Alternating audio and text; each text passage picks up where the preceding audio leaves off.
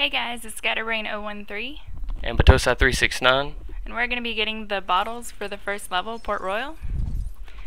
This is the first one you get, and you need to put in this code if you do not have Blackbeard unlocked, and it's D3DW0D.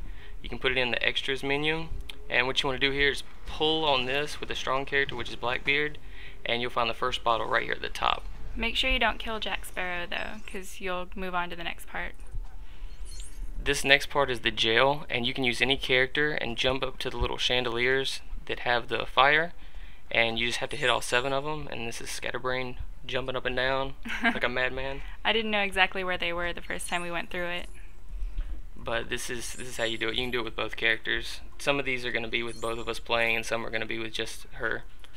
You do get an achievement for finishing a level with two people, so you might as well do it. Definitely. So that's the second one.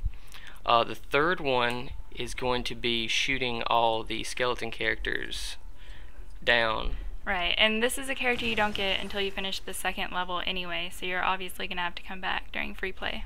Yeah, his name's Marty, and he shoots out the explosives. And he can only, he's the only character that can shoot through those really shiny objects. So far. So far, yeah. There's other characters that can you eventually get, or if you have bombs, you can do it with bombs. Um, that's the dog. The dog can crawl through crawl through small places. So could Marty, but I wasn't thinking.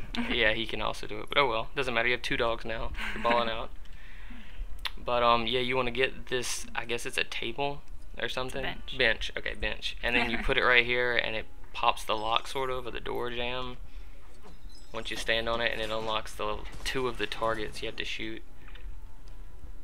So you shoot those. and don't forget to rebuild them. That's the whole point. Yeah, you have to rebuild them, and it'll have a little number like out of four that pops up, and once you get all four, you get a bottle. I think there's ten per level, so.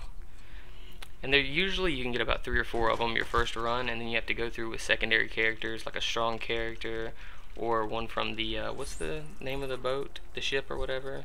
The Flying Dutchman? Flying Dutchman, yeah. The Flying Dutchman people can walk underwater and go through ooey gooey stuff in the Mhm. walls. So the fourth skeleton you don't actually shoot down, and it took me a minute to realize this. Yeah, she was walking around. I was like, it was over there, and you're like, no, I don't think so. And I was like, yeah, I think it was. There he is, just sitting in a corner. Yeah, you just have to hit the random B button. You hold it down, and it rebuilds it just like all the other stuff. So that's the uh, third bottle. The fourth one is through this after you shoot it with explosives, and this one was kind of funny because Scatterbrain messed up a lot. this one is really kind of difficult because you have to get your character in the exact right place. And Don't fall in the water. if you fall in the water, watch out. So we've kind of fast forwarded a lot of this, but um, you first thing you're gonna want to do is shoot that target, which she did successfully, Yes. and then fell off again. He falls backwards whenever he yeah, when he fires his um explosive thing, he falls over anyway. I couldn't grab the chain, so I gave up and let the shark e- eat me. Yeah, and It's then easier. after that, you have to go up here and push the plank, and she she tried a couple times and couldn't push it. You have to get it exactly right. Yeah, so we finally got that done, and then you have to do this. Is it, this reminded me of Mario 64 because in that game you could jump from wall to wall and stuff. But he's really slow. He's you have really to wait slow. till he hangs He from one to hand, dangle like a and then you can jump again. He's like, oh, I can't hold on. But anyway, he gets it eventually. And this one's probably the longest one we've had to do yet, the most difficult. It was. Yeah, you um rebuild this thing, which is sort of like a rock climbing wall, I guess you Mhm. could say. And you had to switch characters, right? Yes, you're gonna have to switch to a girl. Yeah, the girls can jump a lot farther in this game. They have a double jump ability, so anything that's really hard to get to, usually a girl will have to jump. And it has little flower things to let you know that you have to Mhm. use them. So they made it a little simplified to figure out what you had to do. This one took a second too. Like, you gotta get over to the left and grab the bar up there. Yeah, the bar, pull it down with the girl, and it releases the uh, little panels. This is a lot like Mario too, because I remember the first level of Mario, you had to do this. Let's see, and then you push the thing against the wall. You were gonna slash it. You were gonna tear it tried, up. You were I like. "Oh, got this." There's the little flowers that tell you where to jump. Yeah. So you land on that, and then you Double double, jump. jump. so that's the fifth one. Um, the next one's in the next area. You um jump up, and you have to hit the blue flags. Blue flags. three in this level. I, I got that one. Jack Sparrow. He runs around like a drunk person. he does. It's awesome. Then Lauren got this one. The next one is just you gotta climb up the tall thing, get on the roof, and it's at the edge of the roof. Be careful though, don't fall off the roof. Yeah, it's a bad call. I almost I didn't did. even I didn't even know this one was here. You were the one that found it each time we were playing. And then the third one's right here. this one took a second. this is a girl you get in the second level, so Yeah, Anna Maria, I think. This is actually a two for one bottle. She gets two here because there's another one hidden at the top. yeah. You drop this net down with a girl, see the Mhm. flowers, and then you uh, try to make it in there. She uh, It's she tough. fell a couple times, but you just have to jump back on and get up there. Uh, there's a guy that you have to kill, but there's the first bottle that you get Yep, just kind of sitting in there. sitting in there, and then the next blue flag is right out this window. And be careful when you jump out the window. Yeah, you will you will destroy yourself. As soon as you jump out, turn back around and grab onto the green thing. Yeah, that's what she did the second time successfully. Yes. Yeah, the first time not so much, but it's all good. It's all trial and error for me too. Yeah, it's it's not the most elegant, you know, try, but it's you know you got to learn.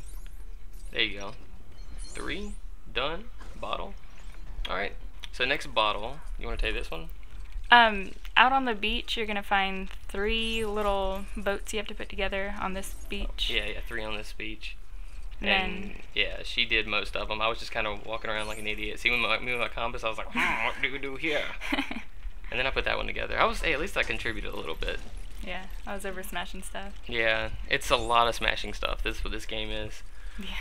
Anyway, with uh, the fourth one and the fifth one are on this second area you get to, and she got those again as I walk around like a drunk person. Just look at that run. That's the proest run ever. And then I got in the barrel. I was like, mm, do my own thing. but there's the fifth one. She got that. There's the bottle. Pick up the bottle. And gotta course. jump towards it, not away from it. Yeah. Next one was really frustrating when we tried to get it the first couple times.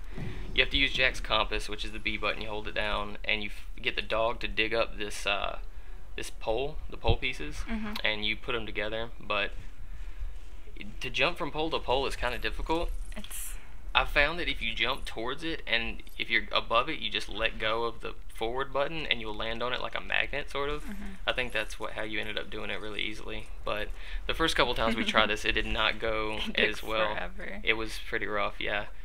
But of course, she fixed the drunk character to jump across the poles. Oh! but the second time she gets it, here we go. There it is. See, yeah, it sort of like latches you onto it. That's that's a lot better. you just gotta have patience for that part. Definitely. Next one, you have to get Marty again because he blows up those barrels. Anything shiny he can shoot. And now you have to get the guy his sausage. Right. So um, you want to switch to this guy, and there's a code we put at the bottom. It's the Captain of the Flying Dutchman, not the Flying Dutchman. Yeah. The, the octopus, okay, the octopus guy. It's 4DJLKR.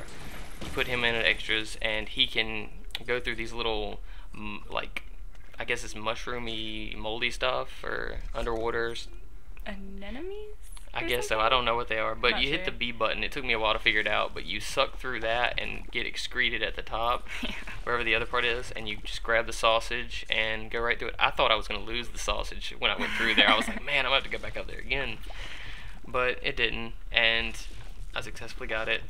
Just give it to this guy, and he will run upstairs and spit out a bottle. He's all excited. He's like, yes, sausage. and then there's the bottle. Okay. So the uh, what? Don't forget to use your compass while you're over there, because you get a gold a sword. lot of stuff. Yeah.